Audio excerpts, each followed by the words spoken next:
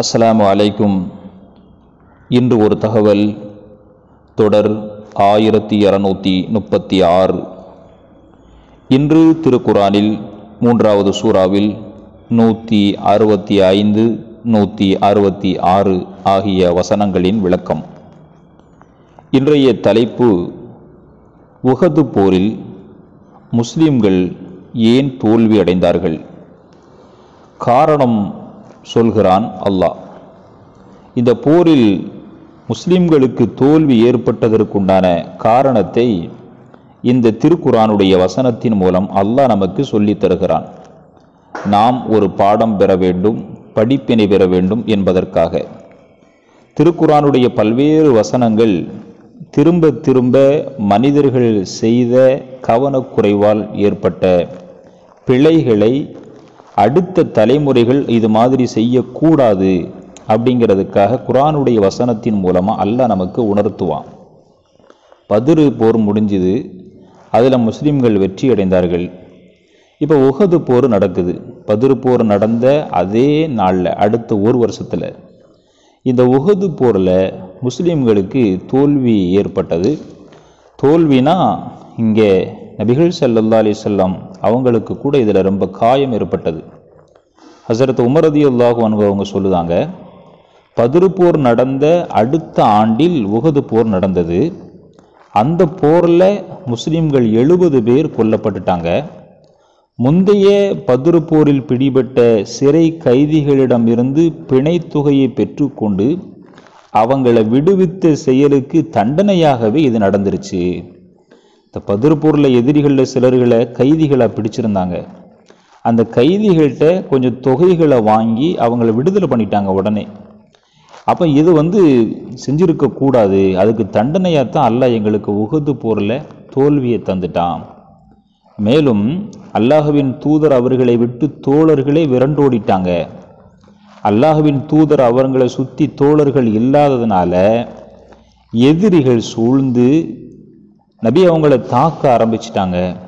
இப்படி தாக்குனதுனால நபி அவங்களுடைய முன்வாய் பருக்கள் கீழ் வரிசையில் வலதுபுற பல்லு ஒன்று உடைக்கப்பட்டு விட்டுருச்சு. நபி அவங்களுடைய தலையில் வச்சு அவங்களுடைய தலைக்கவசம் உடைக்கப்பட்டது. எதிரிகள் ஓங்கி தலையில் அடித்ததுனால அவங்க தலையில் அணிந்திருந்த அந்த தலை கவசம் எதிரிகள் அவங்க அடி மேலே படாமல் இருக்கணுங்கிறதுக்காக கவச உடை போட்டிருப்பாங்க. அப்போ தலையில் ஒரு கவச உடம் இருந்தது. அந்த கவச உடை உடைந்து விட்டது. அவங்களுடைய முகத்திலிருந்து இரத்தங்கள்லாம் வழிந்தது. அப்போ இங்கே ஏன் எங்களுக்கு தோல்வி நடந்ததுன்னா பதிரு போரில் பிடிக்கப்பட்ட அந்த கைதிகள்கிட்ட பணத்தை வாங்கி அவங்கள விடுதலை செஞ்ச ஒரு காரணம். இன்னொரு காரணம் என்ன அப்படின்னா எங்களோட முஸ்லீம்களும் இருந்தாங்க. முனாஃபிக்குகளும் இருந்தாங்க. இந்த போரின் மூலம் அல்லாஹ் முனாஃபிக்குகளை அடையாளப்படுத்த விரும்புகிறான் இந்த போரில் தோல்வி ஏற்பட்டது இரையச்சமுடைய முஸ்லிம்களுக்கு ஒரு கலக்கத்தை கொடுத்தது கவலைகளை கொடுத்தது. அதை நினைத்து நினைத்து மனம் வருத்தப்பட்டு புலம்பிக் கொண்டே இருந்தாங்க. அப்போ தான் அல்லாஹ் சொன்னா அவலம்மா அசாபத்துக்கும் முசீபத்தும் கத அசபத்தும் மிஸ்லைஹா உகது போரில் தங்களுக்கு தோல்வி ஏற்பட்டுருச்சு அப்படின்னு நீங்கள் ரொம்ப கவலையாக இருக்கீங்களே இதே மாதிரி தான் பதிரு போரில் உங்கள் எதிரிகளுக்கும் தோல்வி ஏற்பட்டது. அது இப்போ உங்களுக்கு ஏற்பட்டிருக்கிற இந்த தோல்வியை விட ரெண்டு மடங்கு அது கூடுதல். குல்தும் அன்னாஹாதா குல்ஹுவமின இந்தி அன்ஃபூசிக்கும் இந்த உகது போரில் தோல்வி ஏற்பட்டதுங்கிறது அது உங்களால் தான் ஏற்பட்டது. மலை அரிவாரத்தில் சிலர்களை நிறுத்தி அவங்க எந்த காரணத்தை கொண்டும் அங்கு இங்கு நகலக்கூடாது அப்படின்னு அல்லாவுடைய தூதர் சொல்லியதற்கு பிறகும் எப்படி நீங்கள் அங்கே இங்கு போகலாம்? அதனால் இந்த பாதிப்பு உங்களால் தான் ஏற்பட்டது. இன் அல்லாஹ் அலா குல்லி ஷையின் கதிர். அல்லாஹ் எல்லாத்தையும் அறிந்தவன். ஒமா அசாபக்கும் யோமல் தக்கல் ஜம் ஆனி ஃபபி இதின் இல்லாஹி வலி ஏலமல் மோமினின். ஆனாலும் இந்த போரில் உங்களுக்கு தோல்வி ஏற்பட்டுச்சே. இது அல்லாஹ் உங்களுக்கு தந்தது தான் உங்களுடைய உண்மையான இறை நம்பிக்கையாளர் யார்? முனாஃபிக்கு யார்? அப்படிங்கிறத நீங்கள் அறிந்து கொள்ள வேண்டும் என்பதற்குத்தான் அல்லாஹ் உங்களுக்கு இந்த போரில் கொஞ்சம் தோல்விகளை தந்திருக்கிறான். ஏன்னா உண்மையான ஒரு நண்பராக இருந்தால் அவங்களுக்கு துன்பம் வரும்போது அவங்களுக்கு கை கொடுக்கணும். நல்லா இருக்கும்போது ஒன்றா சேர்ந்துக்கிடுறதும் கஷ்டப்படும் போது விலகி போகிறதும் அவர் உண்மையான இரையச்சம் உடைய மனிதராக மாட்டார்.